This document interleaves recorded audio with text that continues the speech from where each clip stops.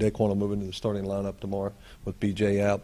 And, uh, you know, obviously Daquan, I said many games ago that he could be a starter. I mean, he plays starter minutes and he's a starter role here. And I've been really proud about how he's continued to progress and play his role off the bench for us and bringing us energy.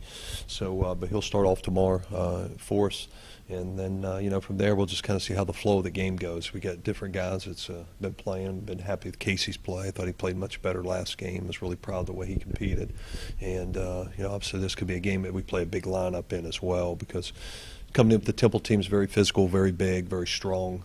Uh, a lot of big guards. Uh, you know, you could see Casey Wilson small forward tomorrow, so we could look to do some different stuff. So um, it'll be a game of uh, you know change based on how it's going here and what bodies are able to play tomorrow. My role has changed. Um, I'll say it's from game to game. Sometimes it's just to defend. Sometimes just to um, be able to go out there and facilitate, and other days it might be to score.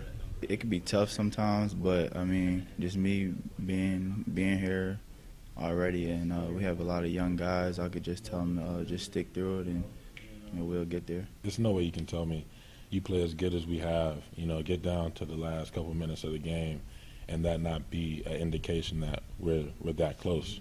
We're as good, if not better.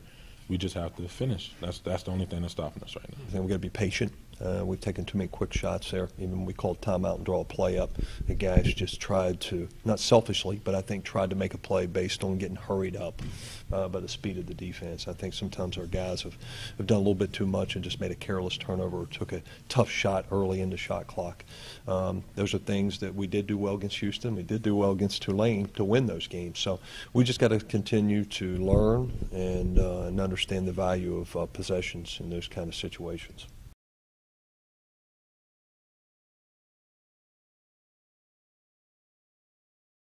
Hello, Knights fans. Please join us for Chamber Knights versus Temple. First 500 fans receive a free basketball. Go Knights and charge on.